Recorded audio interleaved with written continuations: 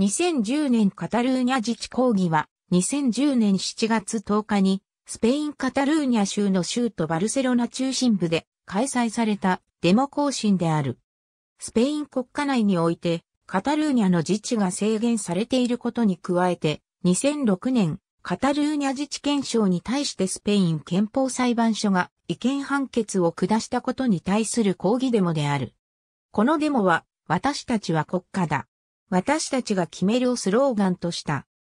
デモを組織したオムニウム・クルトゥラルのムリエル、カザルス代表2003年のカタルーニャ州議会選挙と2004年スペイン議会総選挙の選挙戦において、左派のスペイン社会労働党の首相候補である、ホセルイス・ロドリゲス・サパテロは、新たなカタルーニャ自治憲章の制定を約束した。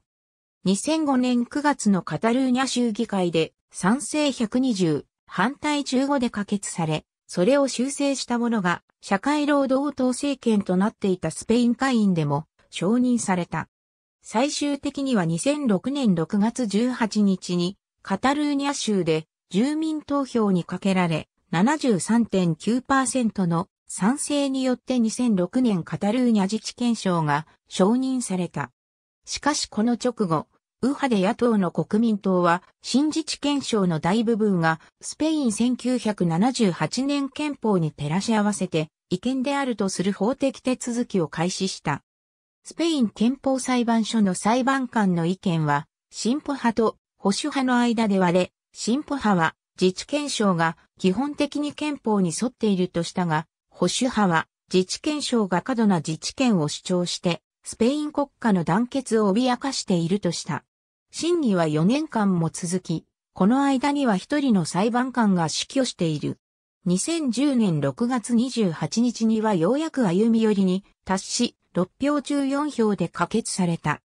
同日には略式判決が公開され、憲法裁判所は全277条のうち、計14条が違憲であると宣言し、計27条が解釈に制限が加えられた。完全な判決は2010年7月9日に下された。憲法裁判所による違憲判決はカタルーニャ社会に衝撃を与え、カタルーニャ独立運動に火をつけた。著名なカタルーニャ文化団体であるオムニウム・クルトゥラルが抗議の組織化を主導。カタルーニャ州議会に議席を持つ6政党のうち4、政党、クとユグットという2つの主要な労働組合、雇用者連盟であるサイペック、総合スポーツクラブの FC バルセロナなど、約1600の組織が公式にデモを支援した。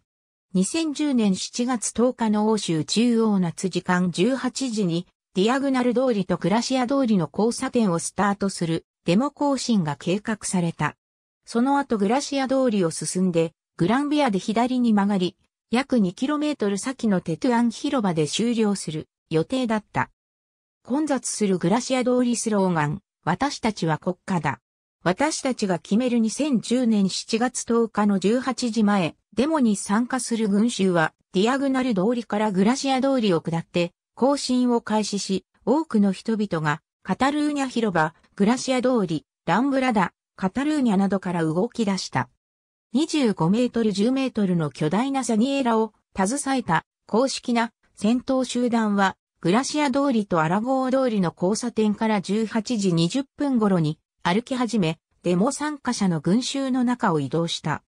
しかしあまりの混雑ぶりに、更新開始から70分が経過した19時30分時点でも、戦闘集団は、スタート地点からわずか400メートル離れたグランビアまでしか至っていなかった。公式な戦闘集団がテトゥアン広場に達しないまま、組織者はデモのクロージングイベントを行うことを決定。混雑するテトゥアン広場でカタロニア参加を歌い、短い声明を読み上げた。20時頃にはデモの解散が開始された。スペイン国外に住むカタルーニャ人はイギリスのロンドン、ドイツのベルリン、ベルギーのブリュッセルなどでバルセロナと同時に小規模なデモを行った。巨大なアスタラーダ地元警察はデモの参加者数を110万人と、組織者は参加者数を150万人と推定している。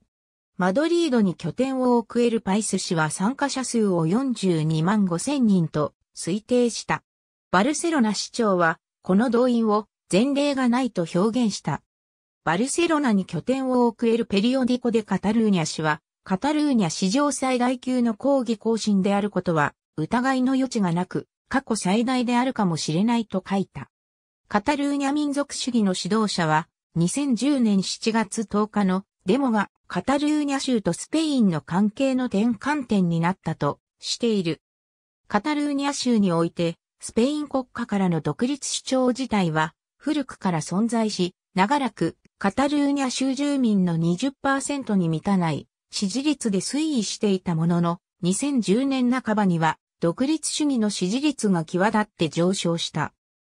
2010年以降には毎年のように大規模デモが開催されるようになり、2012年9月11日には約150万人が参加する2012年カタルーニャ独立デモが2013年9月11日にはカタルーニャ独立への道が、2014年9月11日には、カタルーニャの道2014が、2015年9月11日には、カタルーニャ共和国への自由の道が開催された。ありがとうございます。